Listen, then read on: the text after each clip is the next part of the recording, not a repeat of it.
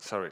So you briefly saw my disclosures, and this is the outline of uh, what I'm, I'd like to discuss with you.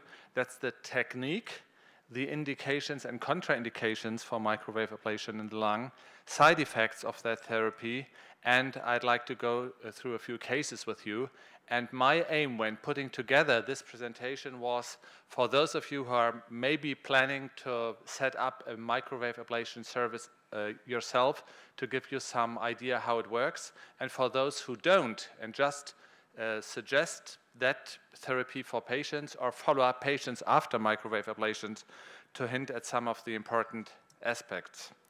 So talking about technique first, this is my personal approach, and I uh, use CT fluoroscopic guidance, which is obviously not compulsory. You can do it with any CT guidance, but CT fluoroscopy makes it easier and more convenient. The technique of placing the probe is actually very, very simple to lung biopsy, which probably most of us do in focal lung lesions.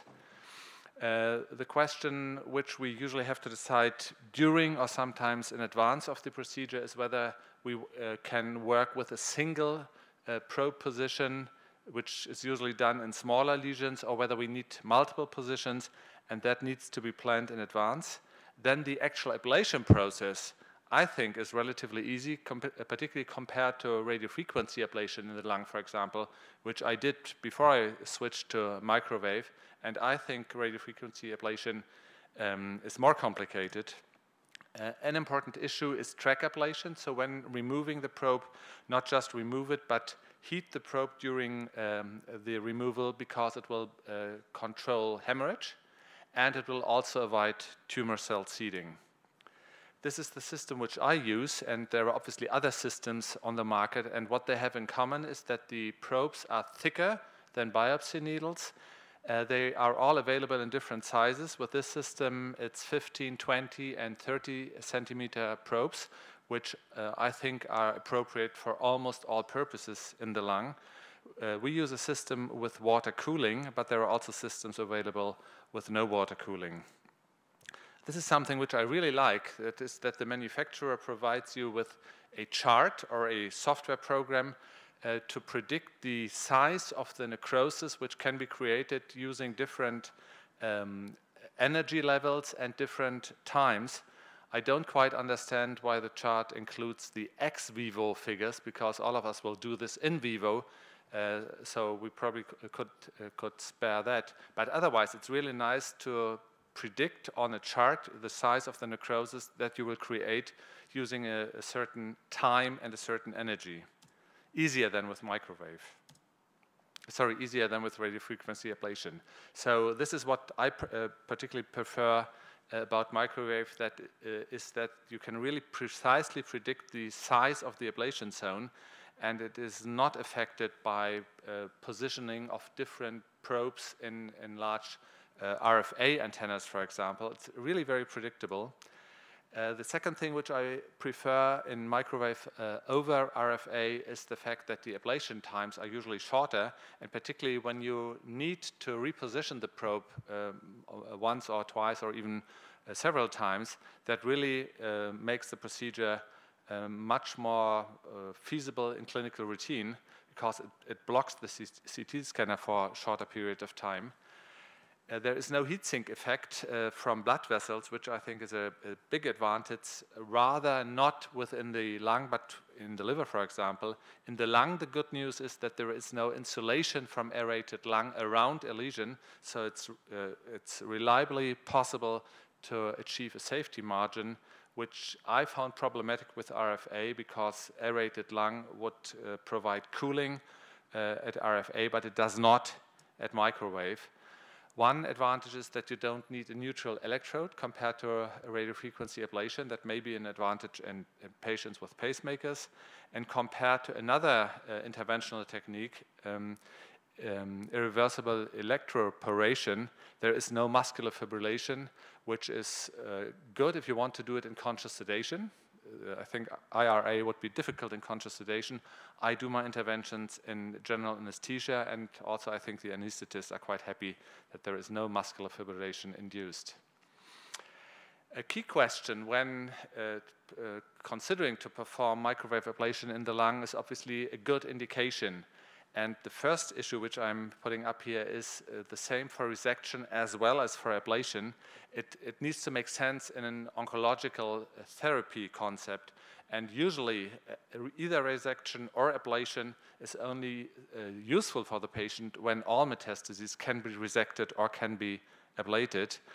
Um, this, from my point of view, requires complete staging, so I will never ablate a patient in whom I don't have a whole body CT staging, at least to make sure that there are no extra pulmonary metastases which are not under control. There is some discussion whether incomplete destruction of tumor cells in metastatic disease may be uh, useful in combination with immunotherapy, so presentation of antigens by either stereotactic radiation or maybe incomplete microwave ablation. Uh, would that allow antigen presentation and um, make an immunotherapy more effective afterwards? But that's work in progress, I think. Uh, ablation in general, I think, is inferior to complete oncologic resection. So usually uh, we ablate only patients in whom surgery is not indicated, either because the loss of pulmonary parenchyma would be inadequate, usually in centrally located lesions, or if surgery is uh, difficult or complicated because of previous surgery, because for us, during an ablation procedure, it's actually an advantage if there are uh, adhesions between the lung and the pleura. For a surgeon, it's the other way around. They hate pleural adhesions if they want to do pulmonary surgery. Um, another competitor is obviously stereotactic uh, radiation, gamma knife, cyber knife, this sort of very high focused radiation. But there are situations in which radiation therapy is not possible. The patient may have had previous irradiation to the same area of the chest uh, or there may simply be critical organs uh, very close to the lesion which uh, do not tolerate the necessary radiation dose. So overall, the decision to perform an ablation in the lung uh, should be made by a multidisciplinary team, and this is how we do it. We discuss every individual case in our multidisciplinary team meetings. Very similar in primary lung cancer, uh, ablation um, is only useful from my point of view when proper oncologic resection, lobectomy, or um, sublobar um, oncologic uh, resection, including lymphadenectomy, uh, is not feasible. Again, possibly due to an inadequate loss of parenchyma, or again, due to adhesions which may prevent uh, a, a surgical approach. Also in primary lung cancer, the big competitor is uh, stereotactic or CyberKnife or gamma knife uh, radiation. So only in cases in which this is not indicated, uh, we would discuss uh, microwave ablation. And one contraindication for irradiation, which I did not list, is actually a very uncooperative patient because for radiation, it's really difficult if the patient doesn't comply. Uh, for um, uh, thermal ablation, I think it's easier, particularly if we do it in general anesthesia. And then there's the question what to do with patients who are eligible for curative surgery but deny that uh, or deny radiation therapy. And uh, we try and persuade patients to undergo the best medical therapy, but if they still refuse, we may then turn to uh, thermal ablation in order to provide the second best option. And again, this decision is made in a multidisciplinary team in all the cases. Now the practical way, how do I do it? And I acknowledge that there are different ways of performing local ablations um, in, in different settings. Uh, as I said, we always start with a decision in an MDT meeting. We get informed consent, and this is both for the microwave ablation as well as for general anesthesia. Our anesthetist um, uh, insist on and having a separate informed consent for GE, obviously. We block a two-hour time slot in our CT suite, which we usually don't use, but in case of complications, we want to be free before the next patient is scheduled to treat a complication. The patient is usually uh, intubated with double lumen intubation to control for respiration, to control for hemorrhage if, if that occurs during the intubation and, and during the procedure. Uh, then we position the patient like we would for a lung biopsy with the best approach um, for the probe, avoiding fissures, avoiding major vessels and so on. The patient, in addition to the general anesthesia, receives local anesthesia because that will avoid reflexes if the general anesthesia is not um, deep enough. You may or may not perform a biopsy prior to the micro microwave ablation to get new histology or to confirm histology. And then the probe placement is performed and ablation is done according to the um, size of necrosis we want to achieve, including a safety margin of at least five millimeters. And as mentioned before, we need track ablation to avoid tumor cell seeding and hemorrhage. The patient is then placed in a recovery room under supervision from anesthetist for four hours, and if the patient is stable, we obtain a supine chest radiograph after four hours to exclude major um, pneumothorax, major um, hemothorax, or hemorrhage into the lung.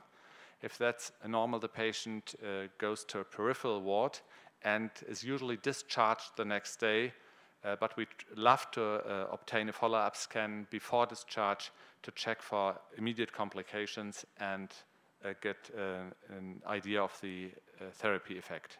And then we would follow the patient with CT every, four, every three months. Complications, most of them are similar to lung biopsy. So pneumothorax, which we, I think, should treat uh, as radiologists, hemorrhage, and uh, other than in biopsy, infection, because we create a large area of necrosis.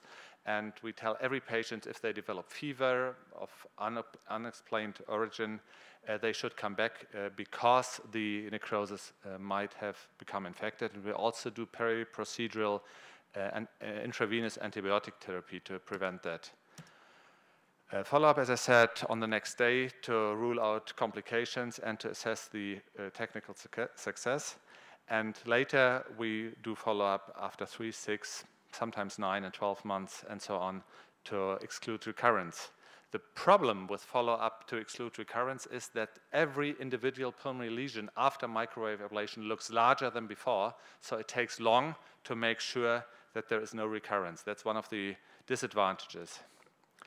Now I've got a few cases for you. This is a patient with uh, renal cell carcinoma who had undergone resection of pulmonary metastasis in his left lung with some loss of parenchyma. And when he developed this then solitary right lung metastasis, the MDT uh, decision was to go for microwave ablation. This is the probe placement, and you can see that it was possible to penetrate this relatively small uh, metastasis, um, and so we were able to work with one probe position. This is the follow-up scan the next day, and that's what we really want to see because you can uh, even see the former needle track. You can still see the lesion. The area of ground glass is the area you've treated that will go necrotic later on, and this is the uh, rim of the necrosis you have created. So this is a very good um, imaging uh, confirmation of a technically successful case. This is another case with metastatic chondrosarcoma who had undergone bilateral pulmonary metastasectomy, and you can see the many scars in both lungs. And when the patient developed this uh, new nodule, uh, which we were quite certain from the follow-up that this was a new metastasis, again, the MDT decision was to treat with microwave ablation. This is the process of placing the microwave probe, and the actual lesion is here. So we again were able to just go through the lesion, and you always need to go through the lesion because there's very little heat in front of the probe. So uh, the probe needs to be um, uh, distal to the lesion if you want to have a safety margin. This is uh, the rim of consolidation at the end of the um, treatment and you can see the needle, the probe track after removal of the needle. This is again the metastasis before and on the day after treatment, very similar to the case I just showed. This is six weeks, so if somebody is not aware of the fact what mi microwave ablation does, people would probably say there's a massive increase in size of that nodule, so a patient is progressing, and that's an important message. It's always bigger, much bigger after therapy than before. And only if you wait for months, uh, the scar goes back to a, a linear structure, and it ne usually never goes back completely to normal. Here's a complicated case who had uh, esophageal cancer, was treated with radiochemotherapy for the primary tumor, and then developed pulmonary nodules. And we obtained a biopsy confirming multiple pulmonary metastases.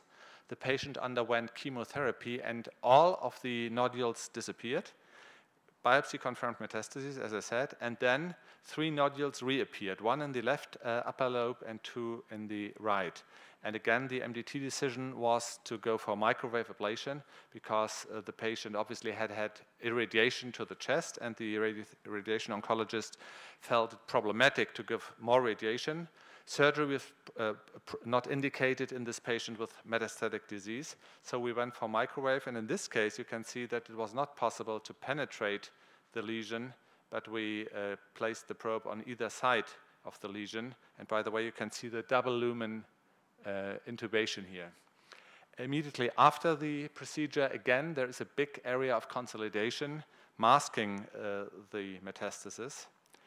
In the next session, we treated two lesions in the right apex. Here is one, which is just seen here, and this is the second. Again, probe placement on either side of both lesions. And again, the next, no, the same day, you can see the needle tract and one of the lesions here surrounded by an area of ground glass and consolidation.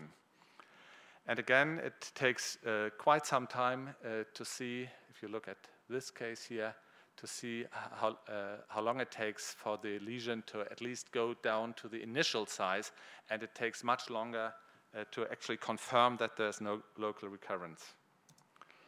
And here's a final case uh, of a patient who had had, an old patient, 82 years, who had had small cell lung cancer, stage 3A, treated with chemoradiation. He went into complete remission, and after 12 months, this nodule appeared, with, which three months later uh, had grown.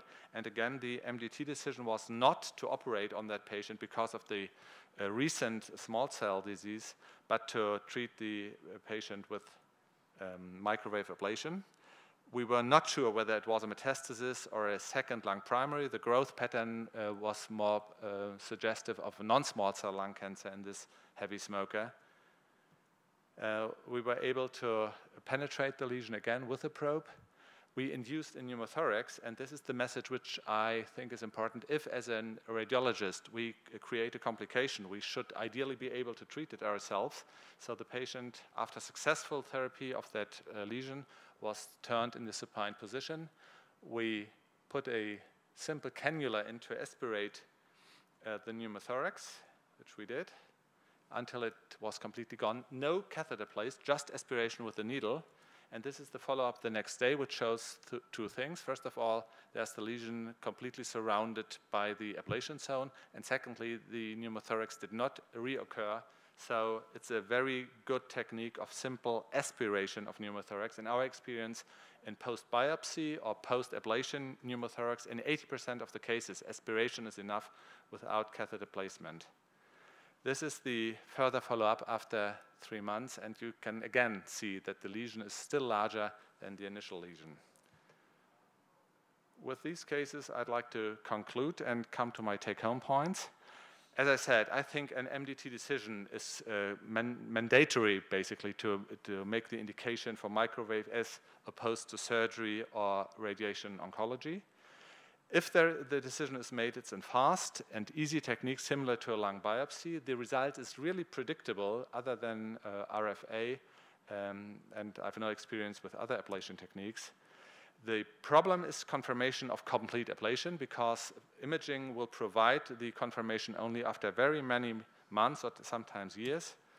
The advantage is that we cause little loss of parenchyma, and this is the reason why it is repeatable. So if the patient develops another metastasis or a local recurrence, we can still repeat the procedure.